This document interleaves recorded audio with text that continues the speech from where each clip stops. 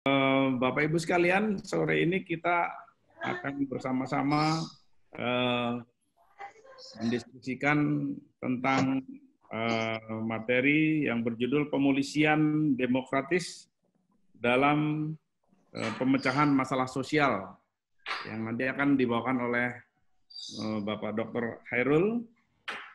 Uh, sebelumnya saya atas izin beliau membacakan sedikit uh, apa ya kurikulum vitae dari Bapak Khairul. Nama Dr. Khairul Muriman Setiabudi SESH. Beliau saat ini dosen di PT IKA Jakarta. Uh, beliau lulusan program pasca sarjana Fakultas Ekonomi di Universitas Manajemen uh, Brawijaya Malang. Fokus beliau pada sumber daya manusia. Uh, selain itu beliau juga merupakan peneliti pada eh, Litbang Mabespori. Tidak ingin membuang waktu, efektivitas waktu saya serahkan kepada Pak Hairul. Monggo Pak, waktu kami eh, haturkan. Silakan Pak. Baik, terima kasih. Assalamualaikum warahmatullahi wabarakatuh. Eh, terima kasih Pak Eko yang sudah mengantarkan jati diri saya gitu. Selamat sore yang sempat bergabung ini ada Bu Arni, kemudian ada Pak Ilham, ada istri saya itu, eh, istri apa anak saya itu? ada Pak Bayu, kemudian Pak ini inisialnya Garbawiata soalnya, saya tidak tahu. Uh, baik, saya kira sore hari ini Eh, sedikit kita bincang-bincang terkait dengan persoalan pemolisian, eh, di mana kami beri judul eh, pemolisian demokratis gitu ya, di dalam pemecahan masalah-masalah sosial gitu. Nanti kita sebentar saja pengantarnya yang penting adalah kita akan dialognya gitu. Nah, saya kira tema ini menarik gitu karena ini diikuti oleh era negara kita yang kemudian tiba-tiba muncul eh, perubahan demokrasi yang sesungguhnya dulu di Indonesia itu sebenarnya sudah memiliki pola demokrasi sendiri itu. Nah, tiba-tiba muncul demokratisasi yang eh, kita adopsi dari dari beberapa negara, terutama negara-negara barat yang memang sudah berkembang, maka kemudian kita coba bangun dan persoalannya bagaimana menempatkan atau bagaimana membangun sebuah kiprah eh, polisi di tengah-tengah era demokrasi itu di dalam kerangka eh, memberikan solusi memecahkan masalah-masalah sosial. Nah, Nah, eh, pemolisian demokratis apa itu gitu ya? Apa itu? Ada beberapa pandangan yang dimunculkan oleh Gary Timax, kemudian uh, feedback, kemudian Devika Prasad gitu.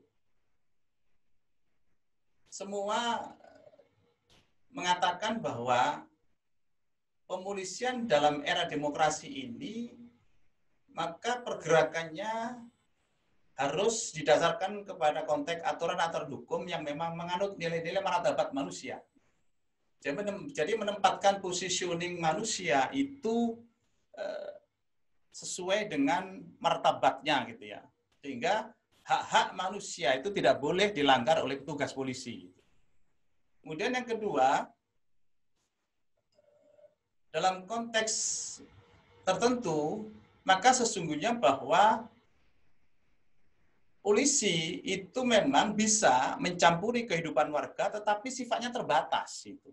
Terbatas maksudnya di sini adalah hanya terkait dengan persoalan-persoalan bagaimana mendekorasi eh, persoalan-persoalan ketertiban dan keamanan masyarakat itu. Tidak boleh masuk ke dalam wilayah-wilayah yang sensitif di dalam konteks ini. Dan diharapkan bahwa polisi di era demokrasi ini memang accountable gitu ya. Dapat memang di, di, di, dipertanggungjawabkan di dalam konteks segala aspek perbuatannya dan perilakunya. Gitu. Sementara Facebook itu pemolisian demokratis ini harus ternyata harus harus dijaga oleh lembaga pemerintah gitu. Kenapa demikian? Karena memang polisi ini dalam konteks tertentu ya memang adalah eh, bagian daripada negara, bagian daripada negara sehingga memang eh, ada keterlibatan di sana pemerintah harus harus ikut eh, katakanlah memberikan sebuah aturan-aturan main yang yang kemudian itu harus dilakukan oleh organisasi polisi. Kemudian eh, selanjutnya bahwa Facebook juga mengatakan bahwa sebenarnya pekerjaan-pekerjaan polisi ini sesungguhnya harus diproduksi oleh masyarakat gitu. Harus diproduksi oleh masyarakat dan kemudian kebutuhan-kebutuhan masyarakat itulah yang kemudian dikelola ya oleh e, koki yang namanya organisasi polisi. Dan di situlah kemudian e, oleh karena itu pekerjaan polisi harus ada kontrol terhadap organisasi polisi. Maka Eh, ketika kita berbicara kontrol ini eh, bisa bicara kontrol secara secara eh, sosial, bisa secara internal. Nah, kehadiran Kompolnas ini adalah salah satu bagian daripada kontrol terhadap organisasi polisi. Kehadiran LSM itu adalah bagian daripada kontrol katakanlah eksternal yang memang harus dibangun. Sementara Devika Prasad itu sejalan dengan Facebook, maka memang betul-betul bahwa polisi di dalam gerakannya harus dikontrol secara eksternal, internal, dan sosial. Maka kemudian harus mengembangkan nilai-nilai transparansi, dan memang kemudian diharapkan polisi menjadi pelindung. Lah, di sinilah eh, pengayom, eh, eh, pelindungan, pengayoman, dan pelayanan itu menjadi penting. Ya, itu itu konsep beberapa konsep yang kita bangun gitu. Selanjutnya bahwa ketika kita bicara demokratis itu ada dua sisi yang barangkali kita bisa tinjau gitu ya gitu. Demokrasi dari sisi konteks global dan demokrasi dari konteks warna Indonesia gitu. Sesungguhnya bahwa ketika pada zaman-zaman Orde Baru landasan kuatnya adalah Pancasila itu sudah membangun demokrasi terpimpin gitu. Nah, di situlah sebenarnya ada values gitu, ada values gitu. Nah, sementara tuntutan-tuntutan global terkait dengan persoalan persamaan hak, di sinilah kemudian diadopsi sebagai nilai-nilai demokrasi. Dan di situlah kemudian akan memunculkan norma etika yang beradab itu. Nah, kita tinjau bahwa pada Tribrata, Catur Prasetya, sesungguhnya organisasi ini sudah membangun geraknya itu dengan peradaban dan dengan nilai-nilai demokratis. Gitu. Kita lihat bahwa Tribata atau Catur Prasetya itu sungguh-sungguh ada values kejujuran, ada values ketauhidan, ada values e, kerjasama dan sebagainya. Itu sesungguhnya nampak gitu. Tapi kemudian seolah-olah ini ditinggalkan berganti dengan konteks yang namanya era global gitu. Nah, sesungguhnya ini adalah sudah pernah kita lakukan gitu e, terkait dengan persoalan-persoalan ini gitu. Lanjut, ya, gitu. Nah, oleh karena itu, tindakan-tindakan kepolisian ini sesungguhnya adalah memang diarahkan pada konteks penyelesaian masalah gitu. Penyelesaian masalah. Nah, berdasarkan eh, konsep dan eh, teori yang kita bangun tadi bahwa ketika polisi menyelesaikan masalah, memang harus ada kontrol. Baik itu kontrol terhadap eh, kontrol dari otoritas publik dan kontrol kontrol dari otoritas politik gitu. Nah, otoritas publik ini sebenarnya merujuk kepada konteks e, birokrasi dan masyarakat gitu. Sementara otoritas politik itu menunjuk kepada atau merujuk kepada konteks yang namanya legislatif atau e, legislatif yang yang ada di Indonesia. Nah, ini memang harus dilibatkan. Sehingga polisi itu memang ketika membuat sebuah tindakan kepolisian itu harus ada restu di situ sesungguhnya menurut eh, konteks demokrasi yang yang sudah di, diceritakan atau disampaikan dari berbagai macam pandangan tadi. Nah, di sinilah sesungguhnya perlu pembangunan kapasitas, baik itu kapasitas organisasi, sistem maupun individual di situ. Organisasi itu adalah menyangkut tentang persoalan-persoalan keputusan-keputusan peraturan-peraturan organisasi yang memang sangat-sangat mendukung kepada pelibatan itu. Kemudian sistem itu adalah bagaimana mekanisme yang dibangun, SOP yang dibangun, sehingga pelibatan itu memang menjadi efektif. Dan kemudian individual itu menyangkut tentang kapabilitas atau kompetensi pelaku-pelaku uh, anggota polisi itu sendiri di dalam konteks menyelesaikan masalah gitu. Nah, di situlah kemudian kalau tindakan-tindakan kepolisian ini didasarkan pada konteks pembangunan kapasitas dalam konteks melibat pelibatan, maka insya Allah polisi ini akan menjadi polisi yang bisa menjaga peradaban di sana. Gitu. ya gitu. Nah, di sinilah bagaimana konteks eh, pelibatannya itu. Kita lihat bahwa pola dukungan keterlibatan masyarakat pada polisi ini eh, baik itu kepada masyarakat maupun kepada pada institusi lain rupanya saat ini karena eh, apa ya istilahnya itu perjalanan panjang polisi itu katakanlah mulai pisah dengan tentara itu atau TNI itu 98 yang kemudian mencari format dan bentuk bagaimana membangun sebuah kemandirian ini maka ternyata bahwa keterlibatan otoritas publik maupun otoritas politik ini ini masih diinisiasi oleh polisi gitu. Nah, sehingga eh, harapan-harapan eh, Gary T. Max untuk kemudian bahwa polisi sebagai co-producer gitu ya, bahwa ada persoalan-persoalan di masyarakat yang harus eh, pekerjaan polisi itu harus diproduksi oleh masyarakat ternyata itu belum bisa tercapai karena memang eh, inisiasi itu tidak berangkat dari masyarakat, tetapi itu berangkat dari dari organisasi yaitu dari polisi. Nah, padahal diharapkan secara demokrasi justru adalah kebutuhan masyarakat ini yang memang diangkat menjadi sebuah program-program organisasi seperti polisi, terutama menyangkut tentang persoalan-persoalan eh, keamanan dan ketertiban masyarakat. Demikian juga pada pilar-pilar institusi seperti seperti katakanlah tentara dengan melibatkan babinsa, kemudian camat, lurah, eh, legislatif, itu memang kecenderungannya adalah organisasi polisi yang menginisiasi. Jadi bukan bukan istilahnya itu mereka yang yang yang katakanlah memberikan memberikan men, apa, uh, bahan sehingga menunya itu harus diolah oleh polisi. Nah, ini harapan-harapan ke depan bahwa sesungguhnya partisipasi publik itu menjadi sangat penting pada era demokrasi ini dalam kerangka untuk um, menyelesaikan persoalan-persoalan di masyarakat. Nah, saat ini memang sudah digarap oleh organisasi polisi melalui yang namanya organ paling bawah dinamakan Babin Kantipmas.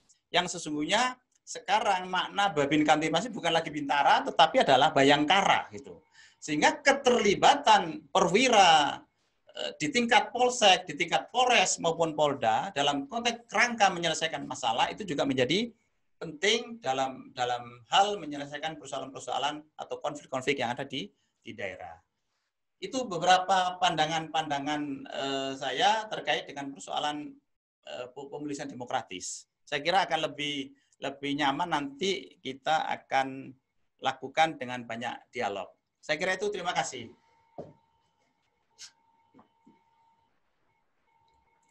Ah, kembalikan ke Pak Eko.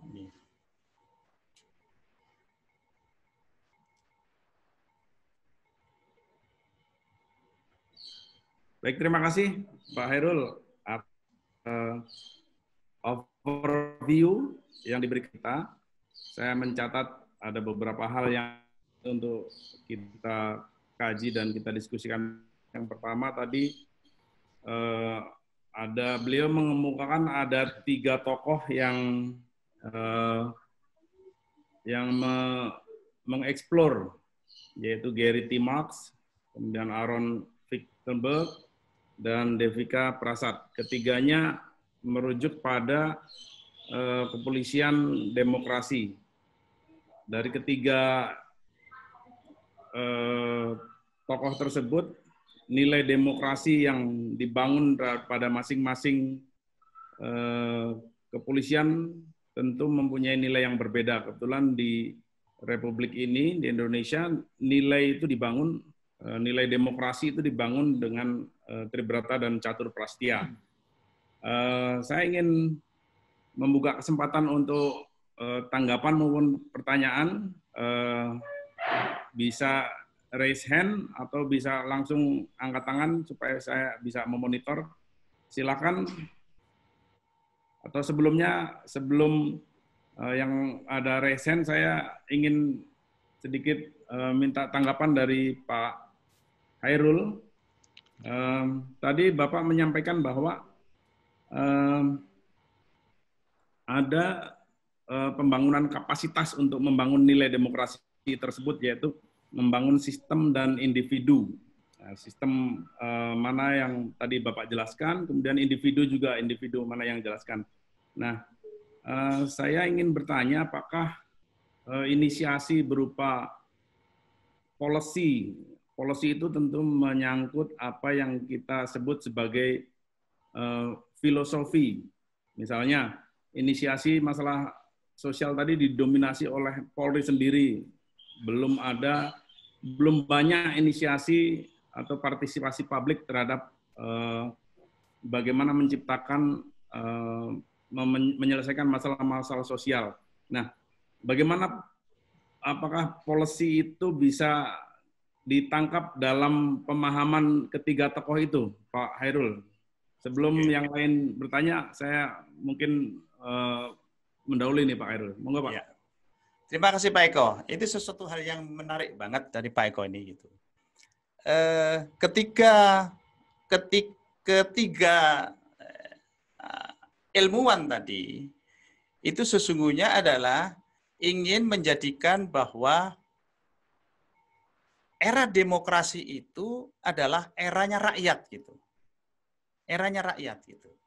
Sehingga kepentingan-kepentingan rakyat ini yang memang harus diadopsi oleh oleh oleh sebuah negara kalau itu terkait dengan persoalan-persoalan keamanan dan ketertiban masyarakat, maka yang harus mengambil, yang harus di, mengadopsi itu adalah adalah polisi gitu ya, organisasi polisi. Nah, sehingga mekanisme itu memang program-program yang dijalankan oleh polisi itu memang harus mengacu kepada konteks eh, kebutuhan masyarakat apa sih yang dibutuhkan masyarakat dalam konteks ketertiban dan keamanan itu kan gitu. Nah, itu harapan dari ketiga para ahli itu. Itu konsekuensi dari eh, apa yang dikatakan era demokrasi gitu. Nah, rupanya di masyarakat Indonesia ini perlu ada literasi yang cukup untuk memahamkan itu semua gitu. Lah, Literasi-literasi itulah yang kemudian melibatkan harus banyak banyak banyak institusi atau banyak hal itu. Termasuk juga lembaga-lembaga pendidikan dalam konteks pemahaman bagaimana membangun sebuah demokrasi yang sesungguhnya itu demokrasi. Nah, kalau itu bisa terjadi maka masyarakat kita ini adalah akan tercapai masyarakat betul-betul menjadi masyarakat madani, masyarakat yang memang bisa mandiri dengan mengadopsi nilai-nilai demokrasi yang dibangun itu gitu. Nah, ini tapi ini ini belum belum bisa terjadi karena apa? Eh, saya menduga bahwa keterikatan masyarakat ini dari zaman-zaman mulai dari Orde Lama, Orde Baru sampai sekarang, itu memang ada sebuah kecenderungan bahwa harus diintrodusir gitu. Harus diintrodusir apakah oleh kepala da daerah, apakah camat, apakah bupati misalnya apakah TNI maupun polisi gitu. Nah, keterkungkungan introdusir inilah yang kemudian akhirnya itu seolah-olah bahwa yang punya hak untuk meng mengintervensi itu adalah adalah anggota atau organisasi polisi. Nah, di sinilah pemahaman-pemahaman ini harus dikoneksikan supaya memiliki persepsi yang sama antara masyarakat dengan kepentingan pemerintah, terutama menyangkut tentang persoalan keamanan dan ketertiban masyarakat yaitu pada organisasi polisi. Itu Pak Eko. Sehingga di sinilah PR kita, kita harus memintarkan e, membangun sebuah proses kapasitas building ini tidak hanya kepada e, e, anggota-anggota polisi, tetapi memang kepada masyarakat. Tapi ini sebenarnya enggak, secara secara informal itu memang memang harus dilakukan oleh oleh polisi. Tapi secara formal pelibatan institusi seperti lembaga pendidikan itu menjadi sangat-sangat efektif untuk membangun pemahaman demokrasi itu. Itu Pak Eko. Terima kasih Pak Eko. Terima kasih Pak Herul. Ini ada dua pertanyaan yang uh, di-share lewat uh, chatting. Uh, saya ada tiga. Uh, yang pertama mungkin saya bacakan saja. Yeah. Dari Pak Nyoman, seiring dengan demokratisasi dan desentralisasi, apakah pemolisian demokrat, demokratis bisa diterapkan secara nasional atau menyesuaikan kebutuhan daerah masing-masing? Satu persatu, silakan Pak Herul. Yeah. Baik, ini menarik. Terlepas apakah itu ada desentralisasi ataupun tidak, gitu ya. Maka konsep pemulisian demokratis ini memang berlaku secara general gitu.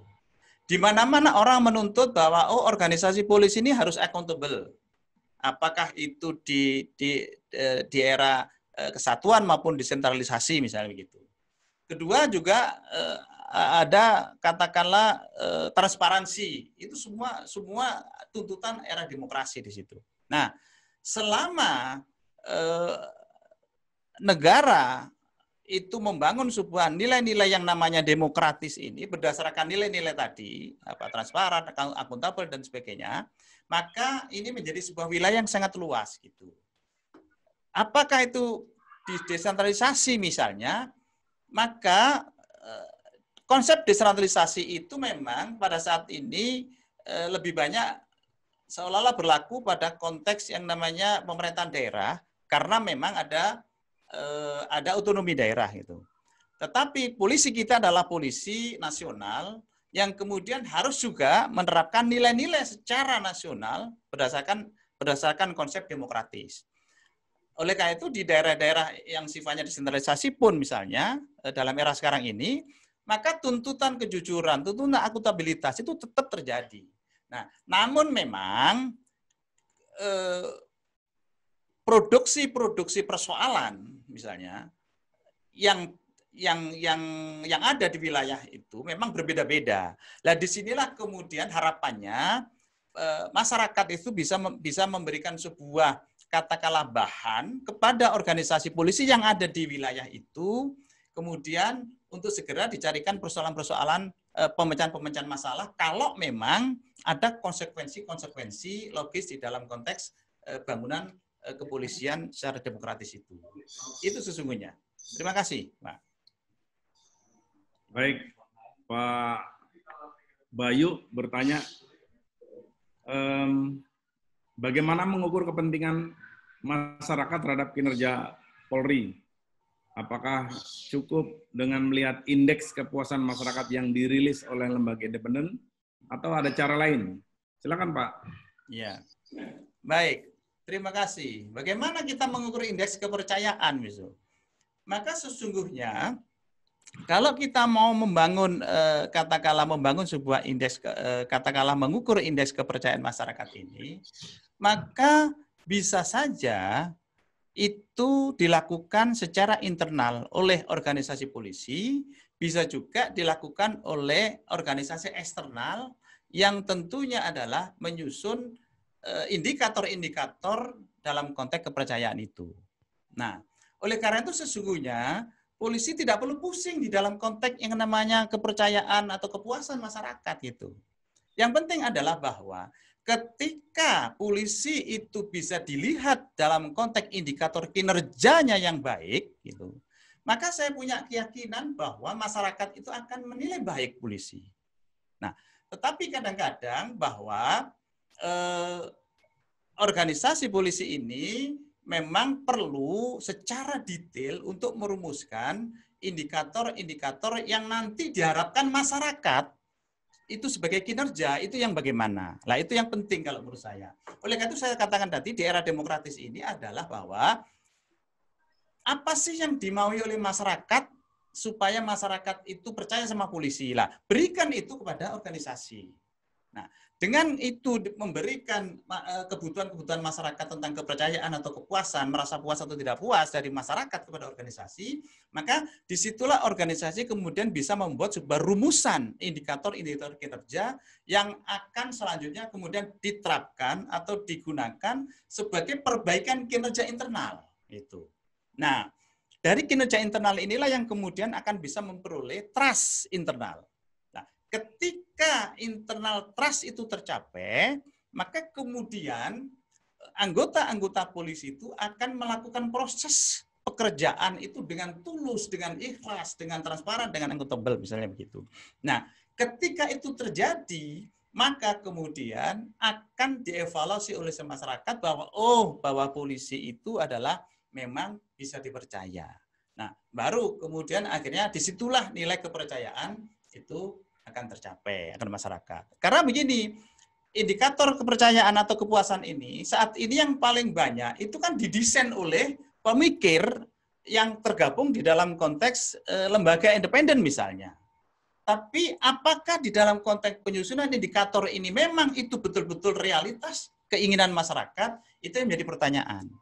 Sehingga perlu e, secara katakanlah mandiri bahwa input-input yang berasal dari masyarakat terkait kepercayaan itu juga diperlukan oleh organisasi sehingga bisa katakanlah menyusun indikator dan bisa memperbaiki kinerja internal yang berdampak kepada uh, trust eksternal. Saya kira itu, Pak Bayu. Pak Bayu mungkin ada mau ditanggapi, Pak? Silakan Pak Bayu. Ya Pak, sudah Pak. Baik, cukup ya Pak ya. Baik, saya akan uh, lanjutkan kepada penanya atau penanggap berikutnya dari Horlas. Jadi banyak aduan dari masyarakat ke pihak polisi mengenai kasus. Contohnya saja kasus pencurian. Aduan tersebut tidak pernah dijalankan. Bagaimana tanggapan Bapak? Nah, ini sifatnya sudah teknis nih ini. Padahal Pak Pak Herul ini bukan pelaksana teknis atau orang lapangan. Beliau ini pemikir Polri tapi ya. mungkin Bapak punya pandangan lain. Silakan Pak Herul ya. Pak siapa tadi Pak? Pak Pak Horlas. Pak Horlas ya. Baik Pak. Jadi begini. Saya sering melakukan riset-riset terkait dengan persoalan-persoalan bangunan kinerja kepolisian gitu Pak Orlas, kita tahu bahwa eh, pekerjaan polisi itu memang sangat banyak ragamnya. Dari persoalan rumah tangga sampai ke persoalan high tech gitu. Ini yang yang barangkali perlu kita pahami. Nah, ketika ada laporan pencurian dan sebagainya, mungkin bisa kita lihat atau Pak Oras mungkin bisa katakanlah mengevaluasi pada konteks yang sama berapa laporan pencurian yang masuk kepada polisi. Itu yang barangkali perlu harus difahami juga oleh masyarakat gitu. Kalau pada daerah-daerah besar itu, laporan-laporan terkait dengan pencurian misalnya, di polsek saja, itu bisa satu minggu itu bisa lebih dari dari 50 kasus misalnya. Kecuali kalau di daerah-daerah yang, yang mungkin uh, lain yang sepi misalnya itu. Nah, sehingga apa? Polisi memainkan peran skala prioritas gitu. Mana eh, yang itu ini memang membawa sebuah dampak yang sangat luas, itulah yang kemudian di, di ditangani lebih dulu. Nah, kemudian berikutnya berangsur-angsur. Jadi kalau menurut saya bukan persoalan tidak ditangani, tetapi mungkin waktu di dalam konteks penanganan ini memang menjadi sebuah proses antrian kasus yang ada di polisi. Sementara ada keterbatasan-keterbatasan yang memang katakanlah dimiliki oleh e, anggota polisi, misalnya katakanlah e, jumlah anggota polisi yang harus menangani itu. Nah, inilah yang kadang-kadang kemudian ada proses-proses yang yang kemudian ada, uh, dianggap itu adalah proses keterlambatan gitu. Nah, oleh karena itu, ketika kemudian ada kasus-kasus seperti itu sesungguhnya para pelapor ini bisa memberikan uh, impact kepada organisasi polisi di mana dia lapor. Apakah itu di polsek maupun di polres. Sehingga akhirnya sama-sama kita bisa mencarikan solusi kenapa ini kok lama. Lah mungkin akan ada penjelasan di situ. Nah, memang kadang-kadang eh, ini yang barangkali perlu ada komunikasi antara antara organisasi polisi ini dengan masyarakat. Keterlambatan-keterlambatan itu kenapa sih? Faktor ada faktor-faktor yang mempengaruhi. Nah, itu bisa memang dikomunikasikan. Sementara memang kalau tidak ada komunikasi, memang kemudian akhirnya dikesankan bahwa oh ini loh kenapa kok lambat. Nah, di sinilah barangkali perlu uh, perlu pemahaman dan perlu uh, edukasi uh, bagaimana antara masyarakat dengan polisi itu bisa bisa membangun atau supporting terhadap persoalan-persoalan ini. Saya kira itu Pak Oras.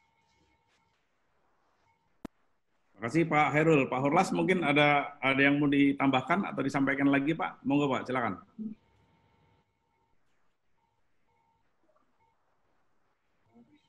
Silakan Pak Ras. Unmute Pak. Unmute dulu. Silakan.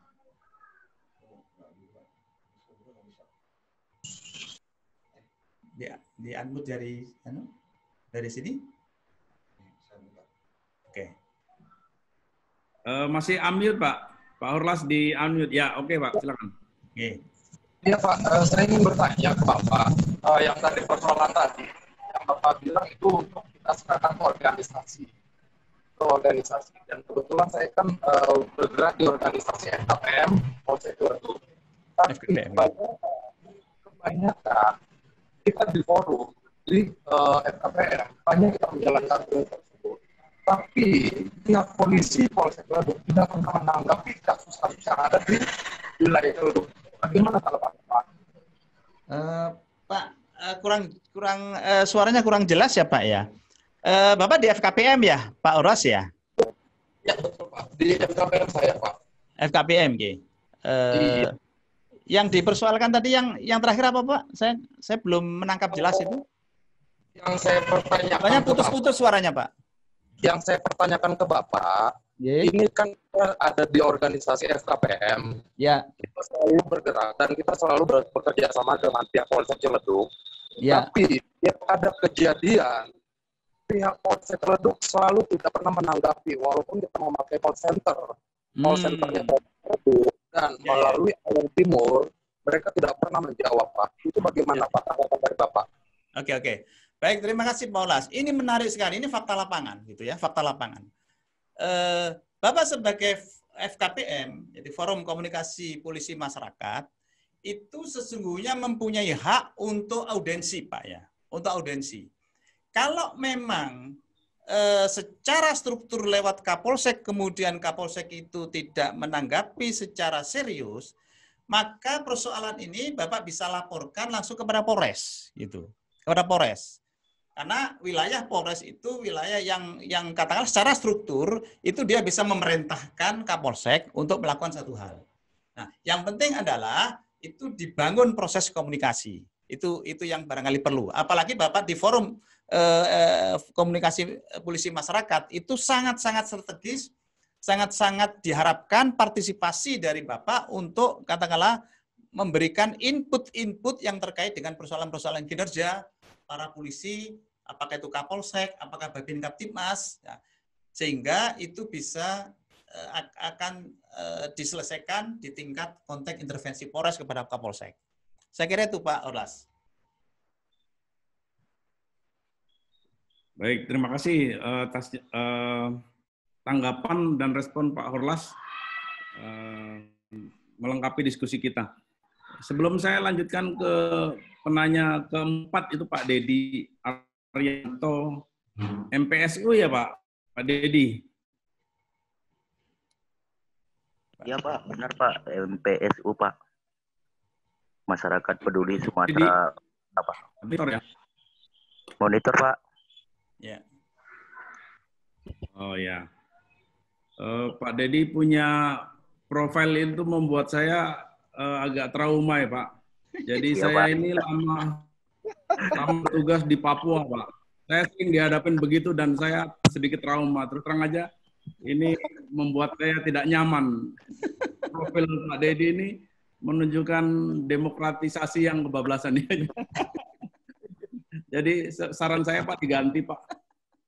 Eh, karena saya lama di Papua dan saya sering mengalami todongan senjata juga pernah dinas di Sudan Pak saya pernah ditodong senjata begitu laras panjang dan senjata itu nggak nggak pernah dibasuh jadi bisa dibayangkan karatnya itu membuat saya gidik Pak. Hmm, pertanyaan saya berikutnya Pak Dedi ini senjata asli atau senjata senjata pinjam anggota ini? Karena ini kalau senjatanya Pak Dedi asli berarti Pak Dedi anggota. Kalau senjatanya Pak Dedi bukan asli berarti nanti saya lapor ke uh, Densus Bapak bisa kena masalah ini Pak. By the way, saya minta itu aja Pak Dedi. Secara pribadi saya minta diganti. Saya nggak nyaman Pak. Yang baiklah pertanyaan lanjut saja. Uh, Pak Herul. Ya.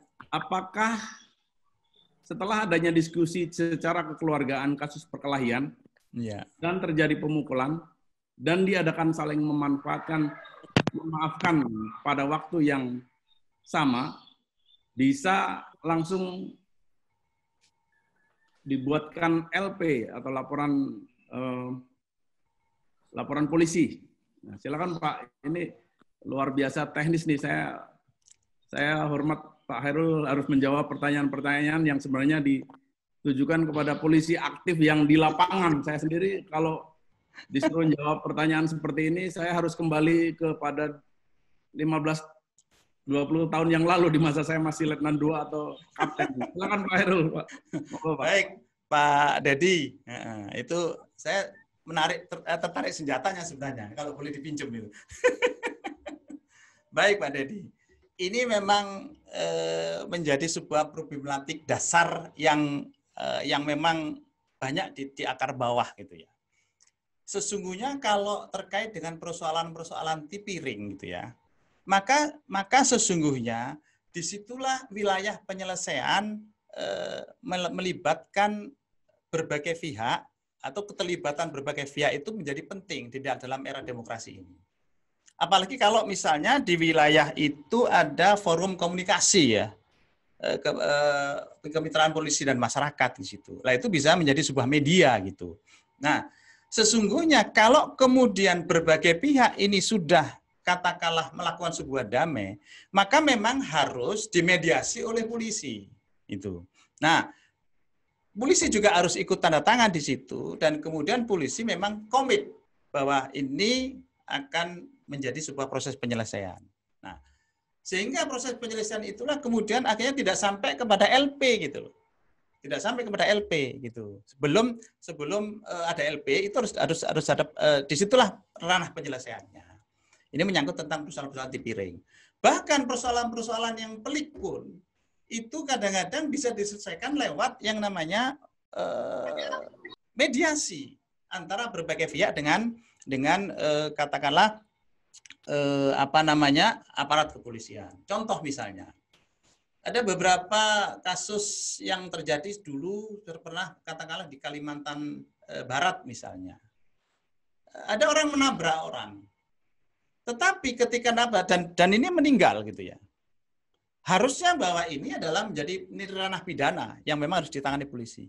Tetapi berbagai pihak ini kemudian meminta meminta mediasi yang akhirnya kemudian dibangunlah di situ hukum denda karena dia masih menggunakan nilai adat yang ada di situ. Selama itu tidak mengganggu kepentingan-kepentingan ketertiban dan keamanan masyarakat dan memang itu sudah komitmen, maka di situlah kemudian ranah polisi bisa memberikan sebuah kebijakan di situ. Nah, sehingga tidak harus kemudian selalu diselesaikan dalam konteks ranah ranah pidana.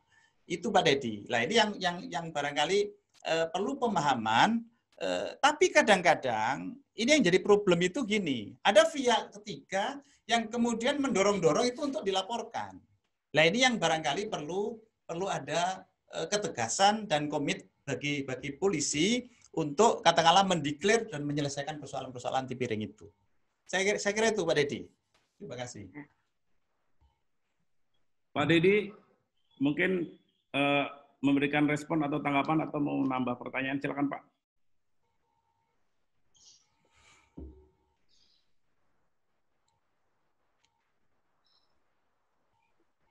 Uh, tidak bisa di uh, monitor suara Pak Dedi? Kalau tidak ada saya aja. Uh, boleh ada Bu Arni itu Pak Eko. Kebetulan Eko. sahabat uh, apa namanya guru saya itu Bu Arni itu Pak Eko. Baik, Ibu Arni sebentar Bu, saya boleh nambahin sedikit nanti Bu Arni ya. tambahkan ya Bu ya. Uh, apa yang menjadi diskusi Pak uh, penjelasan Pak Herul tadi uh, bahwa ada penyelesaian-penyelesaian di luar uh, ranah hukum yang saat ini yang sering kita kenal dengan istilah restoratif justice ya Pak. Ya. Restorasi justice itu dalam konteks yang lebih besarnya, tapi di situ juga ada namanya uh, diskresi kepolisian di level-level ya. pelaksana itu yang menyebabkan masalah-masalah itu tidak perlu dilaporkan lah cukup selesai di level pelaksana. Banyak kasus-kasus yang kita sering dengar, Pak, Ibu, eh, kasus misalnya pencurian buah mangga. Bayangkan bisa orang itu nyuri buah mangga hanya untuk dimakan, tapi dilapor, ditangkap sama pemiliknya, dilaporkan ke polisi. Polisi membuat BAP, BAP maju ke eh, kejaksaan, kejaksaan dia lakukan sidang, dan di sidang dikatakan bahwa ini hal yang Eh, menyakitkan masyarakat sebenarnya. Dan itu banyak lagi kasus misalnya sekarang terjadi seorang ibu eh, diperkarakan anaknya dan masih banyak kasus-kasus seperti itu. Nah, itulah restorasi justice di tingkat pelaksana yang harus diperlukan. Hmm. Uh, mungkin tambahan dari saya, Pak Herul, mohon maaf. Yeah. Silakan Bu Arni menambahkan atau memberikan tanggapan, monggo Bu. Ya, untuk uh, terima kasih. Bismillahirrahmanirrahim. Uh, terima kasih atas waktunya Pak Eko. Pertama menyambung ya tadi ya uh, tentang uh, pelaporan-pelaporan tuh yang sifatnya mungkin bagi masyarakat yang melaporkan itu suatu perkara besar. Tapi kalau kita lihat dari secara nasional itu masalahnya kan kecil-kecil ya, tapi memerlukan keadilan. Sehingga kadang-kadang muncullah perkara yang mencuri buah mangga, tapi ternyata nanti kena hukumannya ternyata misalnya sekian tahun dibandingkan dengan yang mencuri yang korupsi sekian miliar katakan sekian tahun. Nah, itu mungkin pandangan dari masyarakat awam sehingga uh, ketidakadilan di situ ada. Nah, sehingga itu bagaimana nanti mungkin uh, Pak Khairul bagaimana mengatasi hal ini ya. Karena kalau sudah sampai kejaksaan apa masalah-masalah kalau kita menganggap itu masalah kecil, tapi bagi orang lain mungkin itu suatu masalah yang sangat besar gitu ya, karena relatif uh, penilaiannya. Itu menanggapi yang itu nanti uh, Pak Herul bagaimana penanggapannya. Yang saya tanyakan adalah tentang konsep-konsep yang sudah uh, Pak Herul kemukakan tadi sangat bagus ya tentang demokrasi tadi. Nah, ini apabila ini diterapkan betul-betul di kepolisian dalam arti di sini di Polri institusi itu ya di lembaga itu akan sangat bagus. Nah, apakah Pak Herul yakin bahwa konsep yang dikemukakan tadi itu bisa uh, diterapkan di kepolisian kita? Terima kasih. Baik, terima kasih Bu Arni. Ini guru saya ini, Pak Eko. Uh, Pertama dari dari dari belakang dulu. Ya. Kalau kita berbicara sebuah konteks keyakinan, itu memang kita bisa meletakkan dasar keyakinan itu berbagai macam variasi dan presentasi gitu ya. Namun pada faktanya saat ini dengan memunculkan reformasi birokrasi yang ada di polisi sendiri, ini memang polisi ke depan itu memang sudah mengarah kepada konteks yang namanya bangunan demokrasi. Maka eh, persoalan-persoalan transparansi, persoalan-persoalan kejujuran, eh, persoalan-persoalan eh, pertanggungjawaban itu selalu di diupdate, selalu di, di, diberikan oleh organisasi ini dengan harapan masyarakat itu bisa melihat ini loh kinerjanya polisi gitu. Nah, oleh karena itu sebuah sebuah konsekuensi bahwa Eh, polisi dalam dalam hal ini eh, apa namanya masuk ke dalam ranah konteks kehidupan kehidupan eh, sipil ini itulah selalu membangun membangun hal-hal yang terkait dengan persoalan-persoalan keinginan masyarakat ke depan. Oleh karena itu bahkan polisi membuat sebuah pandangan bahwa ke depan itu bukan lagi konteks penegakan hukum yang ditekankan dalam konteks demokratik eh, demokratik policing ini, tetapi ranah ranah eh, yang namanya pencegahan maupun preemptif atau pendahuluan dalam konteks pencegahan itu yang akan menjadi porsi gitu. Oleh karena itu penguatan-penguatan eh, konsekuensinya adalah penguatan-penguatan katakanlah binmas eh, polisi-polisi pembinaan masyarakat dan polisi-polisi intel dalam konteks penggalangan itu menjadi sangat penting itu. Sementara untuk persoalan-persoalan yang menyangkut tentang aktivitas-aktivitas eh, pelanggaran itu ada proses pencegahan. Nah, uniform police itu menjadi bagian penting di dalam konteks edukasi masyarakat. Sehingga saya memiliki sebuah proses keyakinan bahwa organisasi ke depan semakin terbangun kapasitas building individual uh, uh, polisi itu akan semakin uh, ke depan akan membawa nilai-nilai demokrasi. Karena oleh karena itu sekarang ini banyak sekali eh, or, eh, apa namanya anggota-anggota polisi yang kemudian harus studi, harus studi sampai bahkan tingkat doktor dan sebagainya. Harapannya nanti ke depan organisasi ini akan menjadi learning organization yang diawai oleh mereka-mereka atau beliau-beliau yang memang memiliki kompetensi eh, berdasarkan kapasitas pendidikan itu. Sehingga saya yakin. Itu yang pertama. Yang kedua, eh, terkait dengan persoalan-persoalan nilai keadilan, inilah yang barangkali begini ini memang tidak bisa polisi sendirian di situ. Ada aturan-aturan hukum, ada kitab undang-undang hukum pidana yang yang levelnya itu adalah dalam konteks kejahatan tertentu itu memang memang hukumannya sama gitu. Baik itu dinilai kecil maupun dinilai e, besar atau korupsi misalnya begitu. Karena memang undang-undangnya inilah KUHP ini sampai sekarang ini Eh, masih diper, diperbarui yang sampai sekarang belum belum belum belum kelar digedok oleh legislatif. Sehingga sebenarnya polisi itu menjalankan organ itu berdasarkan eh, peraturan-peraturan ini, KUHP atau peraturan-peraturan undang-undang lain gitu. Nah, sehingga oleh karena itu, tadi sudah disampaikan oleh Pak Eko, kenapa kemudian polisi membangun yang namanya katakanlah restoratif justice atau pemulihan pemulihan pemulihan, eh, eh, apa namanya hal-hal yang terkait dengan persoalan-persoalan orang dianggap melakukan kejahatan. Di situ harapannya adalah eh, tidak semua hal-hal yang menyangkut tentang katakanlah eh, pelanggaran misalnya atau tidak pidana ringan itu harus kemudian masuk ranah pidana, ranah, ranah pengadilan gitu loh. Nah, ini yang yang diharapkan. Nah, oleh karena itu bangunan restoran justice ini memang sekarang lagi di, dikuatkan oleh oleh oleh polisi. Itulah Bu. Sehingga harapannya nanti nilai-nilai keadilan itu memang eh, bisa bisa teredam, aja bisa ter, ter, tercapai. Karena secara hukum itu memang hukumnya sama. Ketika ancamannya sama, hukumnya sama gitu. Meskipun, eh, meskipun jenis eh, apa tindakan pelanggaran atau kejahatan itu adalah berbeda. Nah, di sinilah polisi tidak sendirian. Nah, maka oleh, oleh karena itu sesungguhnya pelibatan-pelibatan institusi eh, dan masyarakat itu menjadi penting dalam rangka untuk membangun polisi dalam konteks democratic policing ini. Saya kira itu, Barni. Ya. Terima kasih. Ya, baik. Uh, satu pertanyaan dari Pak Horlas. Pak Horlas nanya lagi nih, Pak okay. Hairul. Ya.